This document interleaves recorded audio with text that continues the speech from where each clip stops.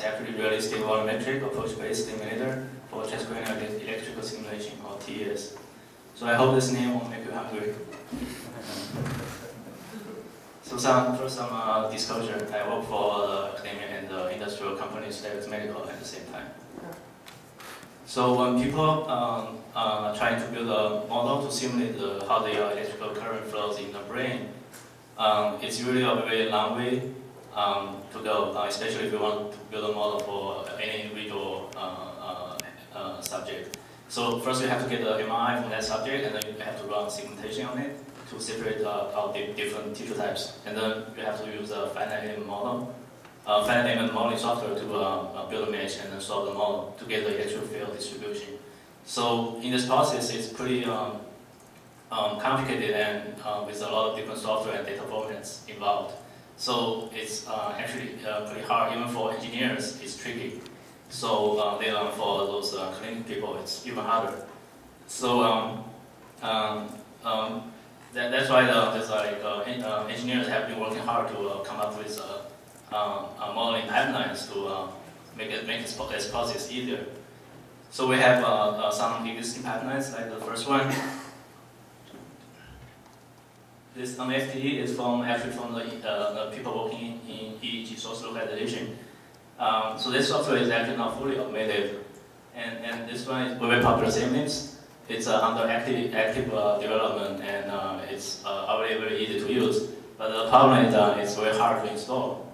Uh, I remember I spent like an entire afternoon to try to figure out how to install this software. And also, it's not supporting Windows. And this one, SCIRun, it's uh, actually even harder to use.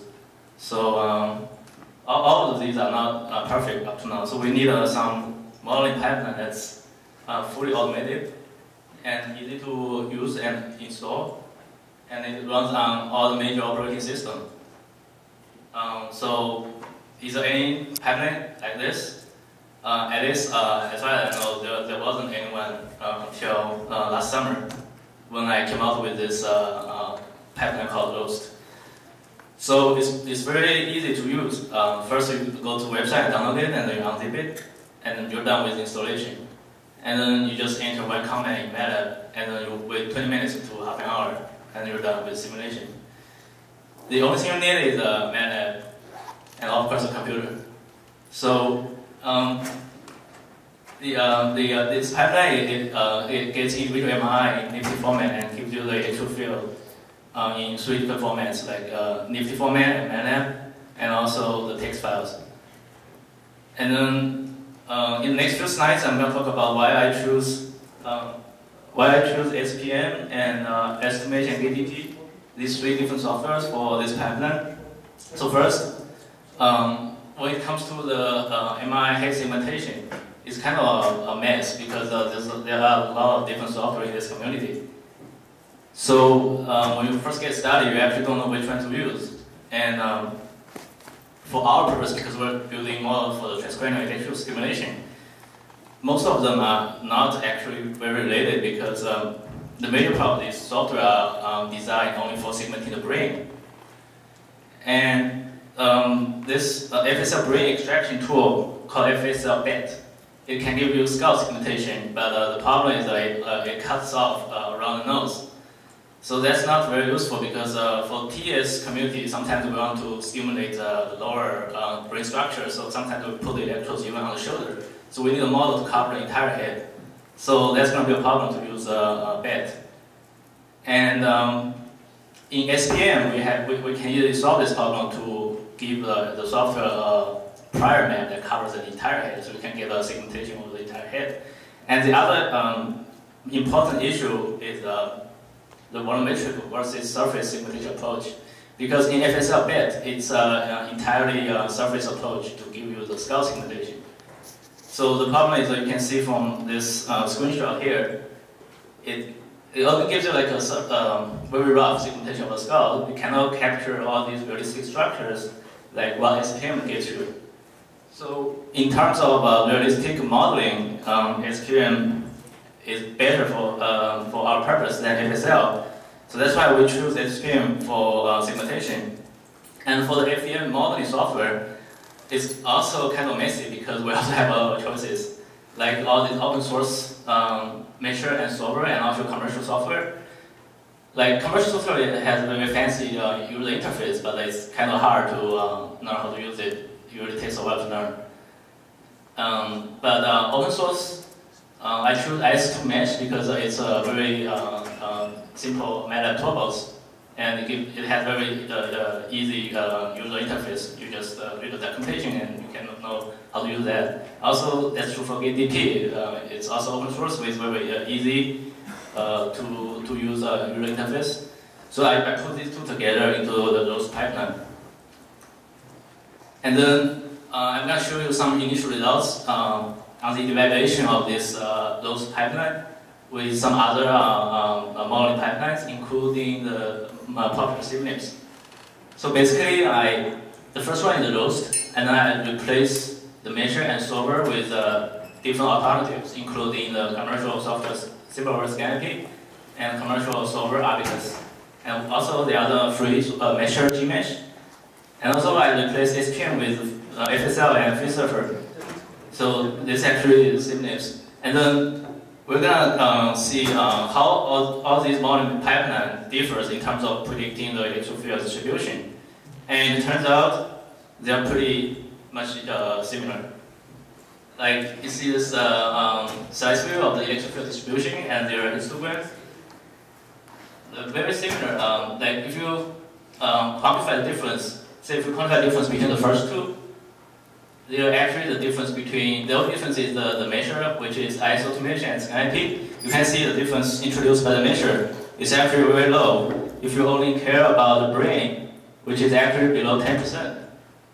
And also, if you take a look between the second and third pipelines, you see the difference between the, the solver, which is GetDP and Abaqus, and the, the difference in the brain is still pretty low below 10%, but um, in the CSF, you get pretty high difference. And one possible explanation for this is because uh, the solver always gives you the voltage uh, solution in, in, the beginning and then do gradient on the voltage to give you the true field. And CSF is a very thin layer. So when, when the solver do the gradient, if there's any small difference in the voltage, the gradient will introduce very higher difference in the electric field. That's why we, we see this very high difference in CSF. And then if we compare the last two pipelines, which is between SPM and uh, SSL server, which is actually the difference between segmentation, we get very high difference compared to the, the first two. Like in the brain, we get a difference around 40%. So the lesson we learn from here is like um, uh, different segmentation indeed gives you very much different uh, um, electrical distribution prediction. And then up to this point, I know you guys uh, must uh, want, to know uh, which one is more accurate. And up to up to now, uh, the, the, only answer I have is I don't know. Um, unless we, we, we do uh, model validation, which is another big, to big topic, and possibly out of this uh, scope of this talk. But I, am gonna mention it later. Um, so before I go to that, I want to do some demo for you guys to, to show how to use this pipeline Roast. So first you go to this website, and then you download it and unzip it, and then you're done with installation, and then you just start your MATLAB, and then you, you go to the directory of Roast, and then if you, if you just want to use uh, everything by default, you just tap Roast and hit enter, and that will give you a default uh, simulation of um, the anode at FP1 and uh, cancel, I think it's around P4, don't remember exactly. So um, that, that's to be a simulation with everything by uh, every, every option by default.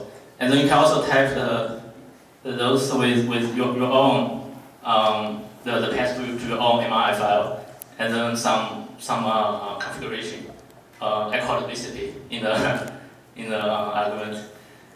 And also here, all the every uh, options by default.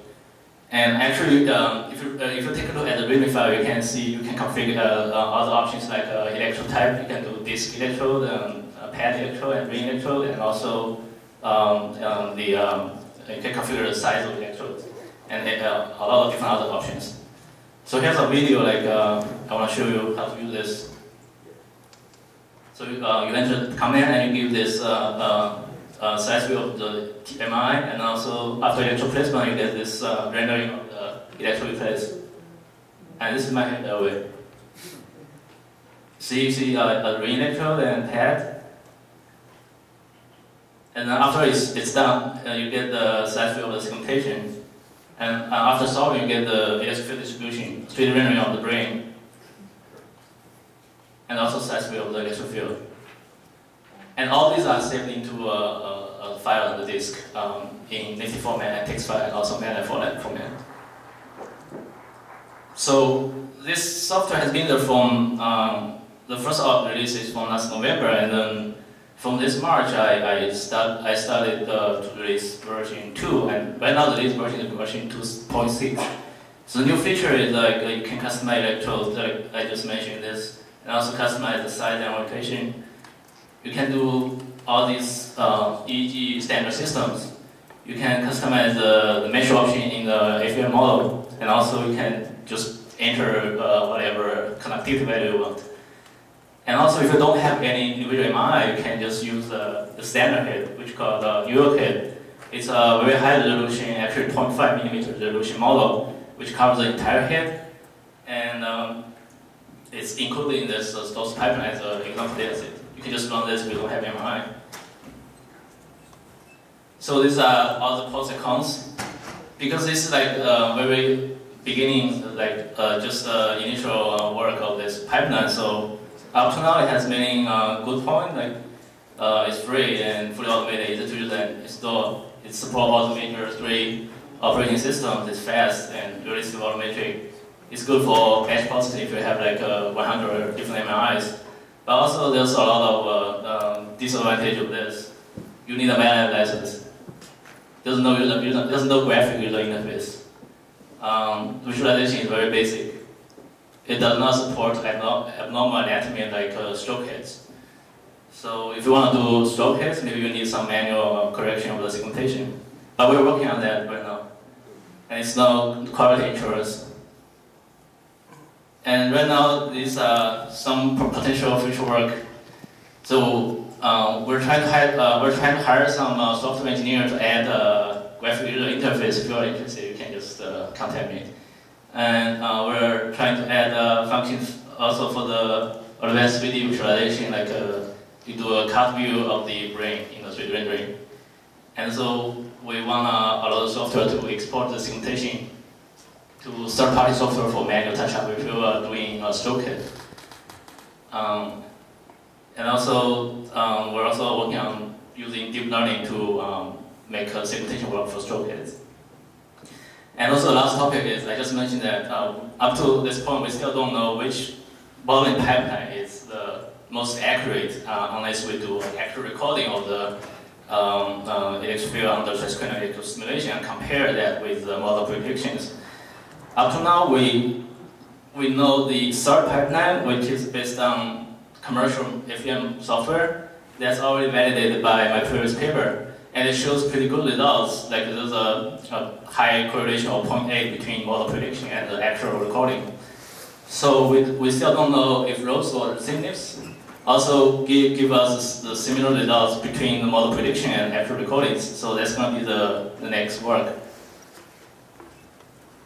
Um, so I want to um, thank all the funding sources and City Silicon Engineering and Soterix Medical, and also Alex from University of Minnesota.